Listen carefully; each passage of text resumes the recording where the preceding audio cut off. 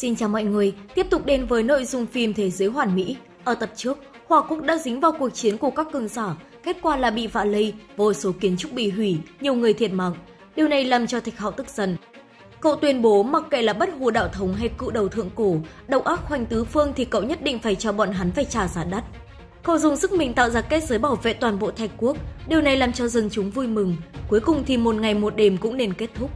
Ngay sau đó tiểu tháp xuất hiện, trên người cũng bị thương, đổi lại thì tên nắm giữ khí thân của hắn cũng vừa mới bị trọng thương.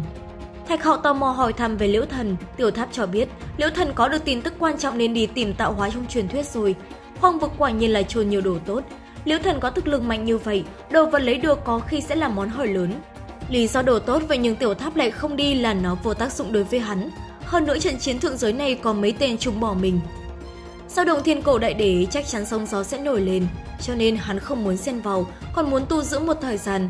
Thạch Hạo tò mò hỏi xem Bất Lão Sơn có bị liên lụy hay không. Tiểu Tháp cho biết, đừng nói là Bất Lão Sơn, ngay cả Bổ Thiên Giáo, Ngưng Kim Môn cũng bị hái một lượt. Điều này có nghĩa rằng bọn họ đều bị ảnh hưởng. Thạch Hạo vô cùng ngạc nhiên, tam đại cổ giáo này được xưng là có bất hủ truyền thừa trên thượng giới, sao cũng bị cướp sạch. Tiểu Tháp cho biết, chùm đầu soi trên thượng giới có nhiều vô số kể.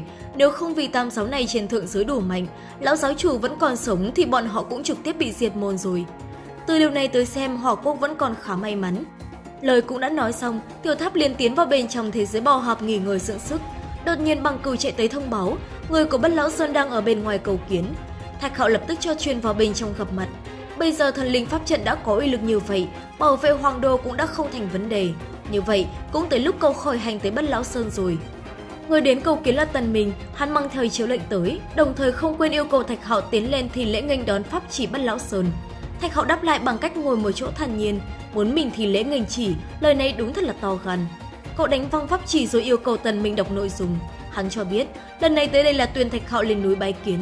Thạch Hạo chậm rãi đứng dậy dọa cho tên kia sợ mất mặt.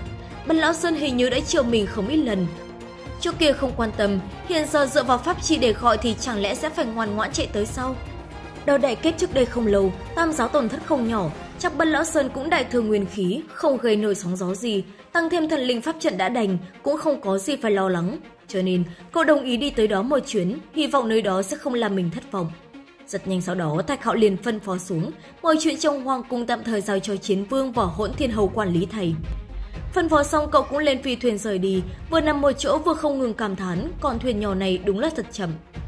Tần Minh ngồi một góc giải thích, đây là phá không thuyền của hắn, có thể đi 10 vạn dặm một ngày.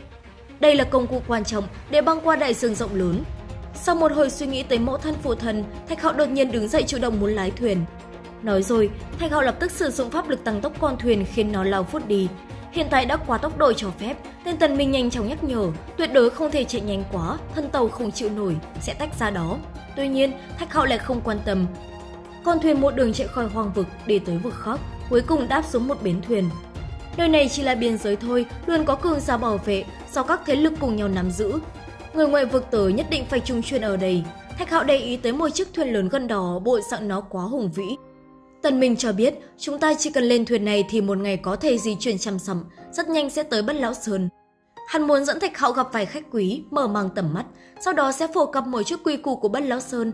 Thạch Hạo tò mò hỏi thầm, liệu quy củ có quản được đám người kia không? Hắn ta nghe xong còn chưa kịp trả lời thì một giọng nói đã vang lên thông báo.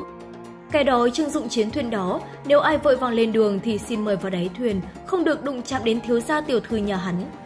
Rất nhiều nam thành nữ tú đều đồng loạt lên đường. Tần Minh nhận ra bọn họ là người của thượng giới nên lập tức cùng kính chắp tay chào. Thạch Hạo thì không, giang đứng vẫn thẳng, bộ mặt tò mò xem xét. Tần Minh muốn dẫn Thạch Hạo lên chiến thuyền, vậy nhưng cậu từ chối không muốn xuống đáy thuyền. Hắn cho biết, người trên thuyền đó đều là thiên kiêu của thượng giới, sao tranh nổi với họ. Hơn nữa, không gian dưới đáy thuyền cũng lớn, còn đưa thức ăn sáng nữa. Thạch Hạo mỉa mày, Bân Lão Sơn làm như vậy có biết mất mặt hay không vậy? Tần Minh giải bày đối mặt với kỳ tài nên nhường là lẽ thường tình. Ở đây thực lực vi tôn, có gì mà mất mặt. Hắn phụng mệnh nghênh đón, không thể chậm trễ thời gian. Thạch Hầu nghe vậy liền quay người rời đi. Nếu muốn ở đáy thuyền thì hắn tự đi, còn cậu thì không, chỉ bằng ngồi xuống chờ chuyến sau. Mới nói tới đây, lão gia trên thuyền đã thông báo, chuyến thuyền tiếp theo phải nửa tháng nữa mới có. Nếu mọi người có sự vụ khẩn cấp thì xin mời lên thuyền.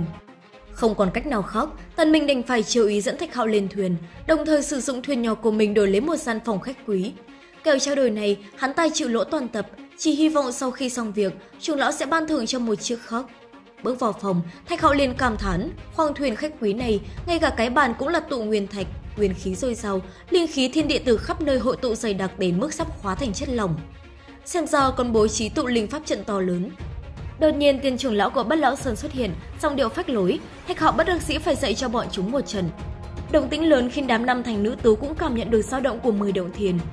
Bọn họ cũng không ngờ được rằng hạ giới còn có nhân vật này, lao tù cổ xưa đúng là sành bất hư truyền. Trong những hậu duệ cự phách chấn động thời cổ đại, vẫn còn một số nhân vật xuất sắc. Cảm thấy tò mò nên cả đám liền đi qua xem thử. Sau khi cho mấy tên bắt lão sơn tới quấy rối một trận, bọn chúng liền ngoan ngoãn hầu tạ. Đối mặt với đám người thượng giới, Thạch Hạo vẫn ngồi một chỗ hưởng thụ, đồng thời cũng không quên sử dụng giọng điệu mềm dẻo khen ngợi vị nữ tử được gọi là làm vũ tiên tử kiềm. Cả đám nhanh chóng làm quen với nhau, làm Vũ cảm thấy tiềm lực của cậu vô tận, linh khí thần sung mãn. Thực sự là hiếm có, huống hồ, tuổi còn trẻ đã đạt tới liệt trận cảnh, tư chất như vậy ở thượng giới cũng không thấy nhiều. Vì nữ tử hồng hoang ở bên cạnh liền trêu ghẹo Thạch Hậu, chẳng lẽ là nhìn chúng ti ti quân nàng. Thạch Hậu nghe vậy liền thẳng thắn trêu đùa lại, mỹ nhân như vậy chính là lựa chọn tốt nhất để khiêng về làm vợ. Lời này có phần to gan, cho nên nàng ta liền muốn thử xem bản lĩnh của Thạch Hậu tới đâu. Nàng nhanh chóng lao lên tấn công, Thạch hậu chỉ cần sử dụng chủ tức từ kích, Sam Cầm đã dễ dàng khống chế được Khổng Hoàng rồi ném nàng ta lên không trung. Không chịu bỏ cuộc, nàng ta liền lấy ra xích hoàng bảo thuật. Thạch hậu cũng lấy ra chủ tức bảo thuật. Hai con chim nhanh chóng lao vào nhau chiến đấu, không phân được thắng bại. Làm Vũ lên tiếng khen ngợi, chủ tức với xích hoàng xứng đôi vừa lứa, ngay cả bảo thuật cũng tương cận, một đôi trời sinh. Nàng cho rằng Thạch Hạo có thiên tư bất phàm, chờ đợi ở hạ giới này cuối cùng sẽ bị mai một, thực sự là quá đáng tiếc vẫn nên đi gặp tôn trưởng nhà mình để bọn họ ăn bài cậu sớm ngày lên thượng giới. Thạch hậu tò mò hỏi thăm vì sao ở hạ giới thì nhất định sẽ bị mai một. tiên tuyền minh giải thích, hạ giới là nơi giam cầm tội phạm, là tù lao để tiền nhân tế luyện, thiếu hụt rất nhiều. Làm vũ bổ sung thêm, hạ giới bị tiền nhân dùng đại pháp lực luyện hóa mà thành. Pháp tắc không đầy đủ, đại đạo không trọn vẹn, các loại trật tự bất ổn, tu hành ở đây thời gian dài không có lợi cho bản thân, cho dù là soi trời ngừng đầu nhìn thấy cũng chỉ có số ít là thật. Những cái khác hoặc do trí tôn cổ đại dùng pháp lực ngừng luyện mà thành, hoặc là hình chiếu của tinh hải trên thượng giới. Thạch Hạo kinh ngạc, ngay cả bầu trời sao cũng chỉ là hình chiếu của thượng giới. Cho dù không nhắc tới những thứ này thì thượng giới mênh mông vô ngần, sông lớn không biết bao nhiêu lần so với bát vực. Các loại thần tài bảo vật càng khó mà đếm hết. Hồng Hoàng tò mò, không phải cậu là người của Bất Lão Sơn hay sao? Ngay cả điều này cũng không biết. Thạch Hạo thẳng thắn, bản thân chỉ là có chút quan hệ với Bất Lão Sơn, cũng không phải đệ tử của bọn họ. Điều này làm cho nàng ta ngạc nhiên, trong huyền vực mà có thiên tư và đạo hạnh bậc này lại không phải đệ tử của Bát Lão Sơn hay là xuất thân từ Ngương Kim Môn, Bồ Thiên Giáo hoặc Côn Luân. Thạch Hậu nhanh chóng phủ nhận rồi tuyên bố bản thân là đệ tử của Thạch Thôn. Nói tới đây thì tập phim cũng hết rồi, hẹn gặp lại mọi người ở tập sau nhé. Cảm ơn các bạn đã bỏ thời gian quan tâm và theo dõi. Xin chào!